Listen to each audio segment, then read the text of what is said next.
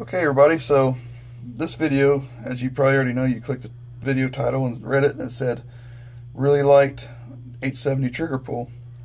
So is your 870 this light?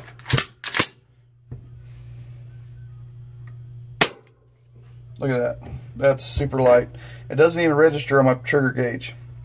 So if you want to figure out how to get your 870 or Pardner Pump trigger this low, stay tuned and I'll show you how to do it.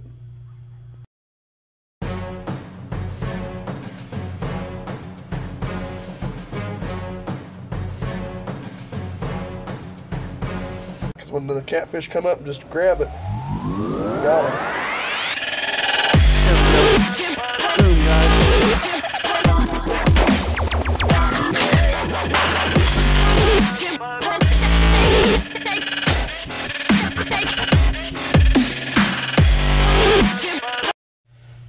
Okay, so you want to start off by disassembling your shotgun. You want to remove the trigger assembly only. And you do that by these two pins. So you might want a, some type of punch or some type of, you can use a nail or do it. And all these are just push pins. Basically, they're pushed right out. And they're kind of snug. The only thing that's really holding them in there is the trigger group. Nothing else. And that's it. They just pop right out. Now you just move your trigger group and you can see here this is already in a fired position so what you actually need to change is the spring now this is my aftermarket spring that I done and put in there and the spring that was originally in here was this one so let me show you the spring details of what you have to do so it's really super easy on this trigger assembly my camera's not focusing in very well. But there's a little catch right here that the spring will catch on the front. And there's a little, basically a post that you slide the spring on in the back here. So all you do is just pop the spring over and out and it comes right out. So let's come over to the counter and I'll show you the actual details of the spring and how it works. Okay, so let's start off with the basically the OE manufacturer spring. That's what it's going to look like. And like I said, this is how you attach it. There's that post right there. It's covered with that orange paint. But there's a post right there at the tip of my thumb. And what you do is set the spring over top of that and it slides right down in that little groove. And then the spring just catches on this little notch right here. And that's what put tension on your trigger.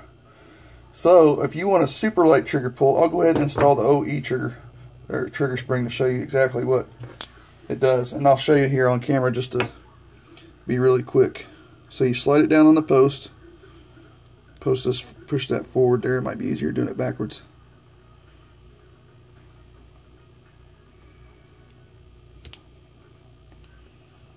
it's all oiled up so okay so that's how that original spring sits in there like that and you can see um, the trigger. Let me go ahead and cock the hammer back and show you how much more poundage it is, the stock poundage. So I'm squeezing now. I'm still squeezing. Still squeezing.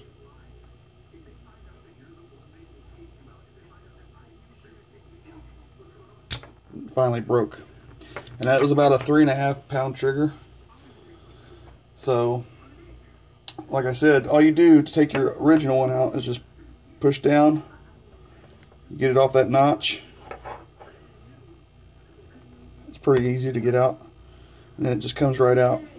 So, let's look at the aftermarket spring that I made for this. So what you're going to do is you're basically going to find a pin that has a spring in it at the bottom of the, the ink, the ballpoint pen. And it has to be towards the ballpoint uh, end, not the top of the the button. So you have this longer spring, and it's going to be longer than this actually. So what I did was I put it up against the OE manufacturer spring and cut it about an eighth inch longer.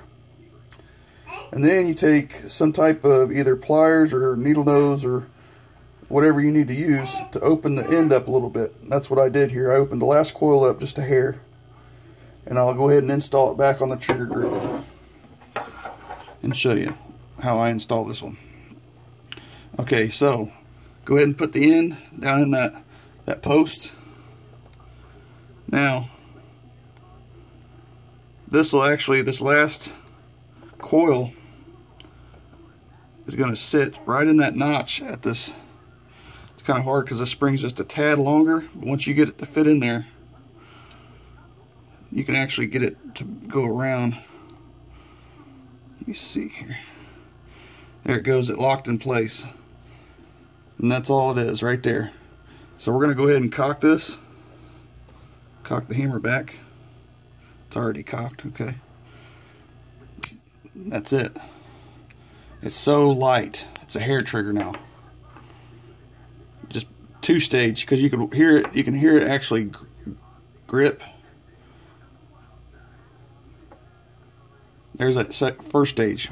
It'll budge. I'll do that again. This is why it becomes a two stage because it's barely grinding on the edge of that metal. So it's got a little slack in it, just a tad. You can see it. There's that second stage. Now you're on the second stage. Keeps going further, just a hair more, then it breaks. Boom.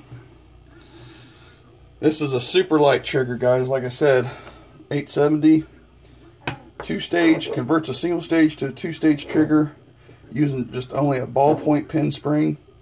And it lowers your trigger pull by about probably three or four pounds from the stock trigger if you don't like the stock trigger.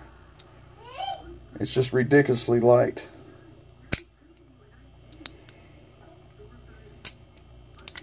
I mean, it just, it's awesome, guys. It's already in the second stage now. Bam. It's so awesome. It doesn't even register, like I said, on my trigger pull gauge. So I'm going to go ahead and uh, install this the way I took it out. So I hope you guys liked the video. If so, um, you know, if you're going to try this, do it at your own discretion. I'm not responsible for anybody that messes up their own gun. So anyways, guys, um, I hope you like this. Again, as always, thank you for watching. We'll see you on the next video.